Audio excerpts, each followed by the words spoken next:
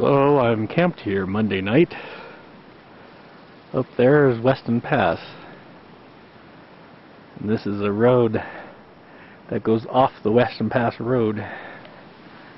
And here's my campsite. It's a little wet. There's my dinner. Cheese sandwiches. The creek that runs through.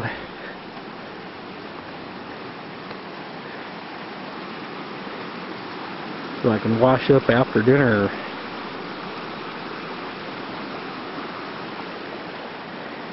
Pretty darn wet around here. Couldn't make it up the pass. It's too wet. This is looking east by east southeast.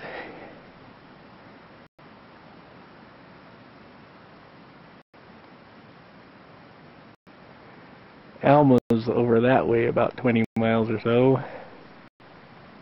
It's the highest drinking establishment in the United States altitude-wise. So when you walk in, and even before you order a drink, you're already high. Can't get a decent pizza in Alma, however. I walked into their one and only pizza place and the guy refused to make one for me.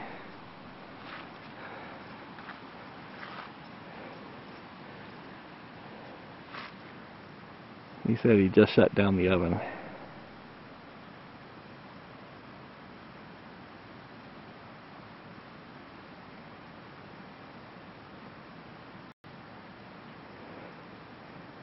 Jedediah Strong Smith walked near here.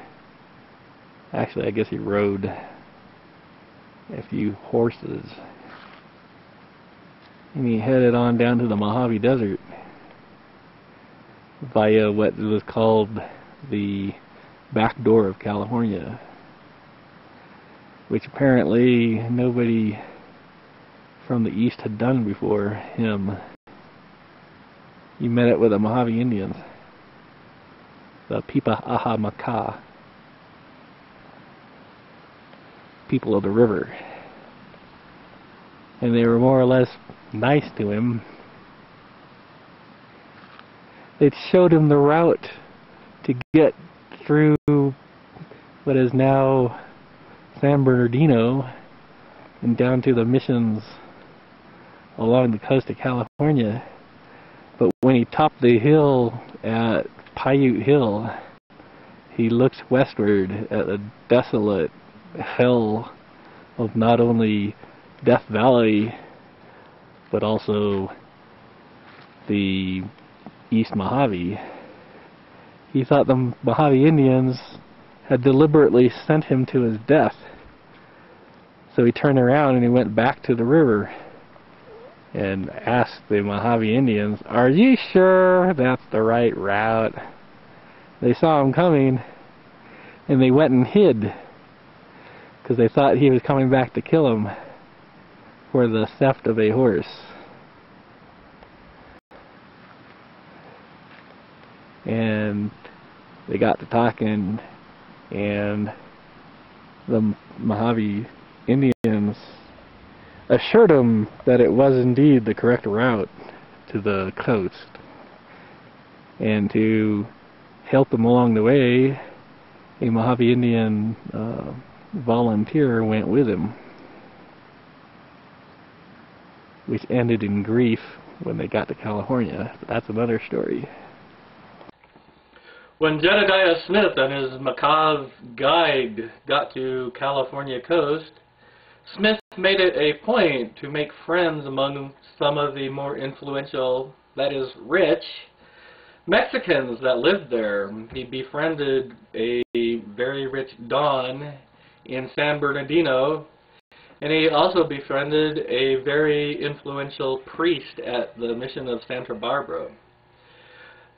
Smith and his Macave guide were told they had to go to San Diego to enter the country legally. As soon as they got to San Diego, of course, they were both arrested. Smith was arrested for the crime of immigration violation. He had been in Mexico for months without permission. The Macave Mojave Indian was arrested ostensibly for being an escaped slave from one of the Catholic missions. The real reason they were both arrested is that the backdoor entrance to California was thought to be impossible, and if that secret had gotten to the United States government, that would have given the United States government a route to attack Mexico through California for the impending and thought to be very near war between the United States and Mexico. The governor of California didn't know what the hell to do with Smith. He decided to get rid of both Smith and the Macave. Getting rid of the Macave was simple. He was condemned to be shot to death. Getting rid of Smith, however, was more problematical because everybody in the um, California coast knew of Smith's arrival because he was somewhat of a hero for having achieved the backdoor entrance to California. He also had his two rich and influential friends looking out for him. Smith managed to save the life of the Macave guide, but it was nip and tuck there for a while. Smith ended up for a long time in jail while the governor of California stalled and governor told him, you know, we got to talk to uh, the people in Mexico City to see what the hell to do with you. What it really meant was, we're going to keep you here for bloody ever because we don't want you leaving. Because if Smith, Smith left, he would tell people of the route into California.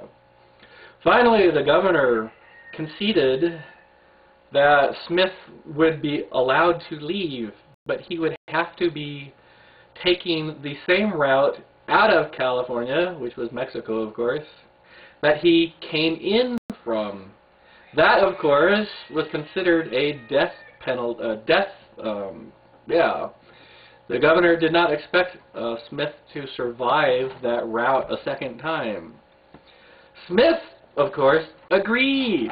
He would be happy to get the bloody fuck out of California. Because he knew damn well that his life was, uh, you know, worth nothing to these people. So Smith said, okay, I'm going back the way I came. But of course, Smith did not. He was not a stupid person. It is entirely possible that the governor of California had people in his, from his army, perhaps, waiting to ambush Smith as soon as he left via that route. Smith could not be allowed to live. Smith, of course, took a totally different route, northward instead of northeastward, and managed to make it back eventually to the United States. And of course, he told people about the backdoor route into California.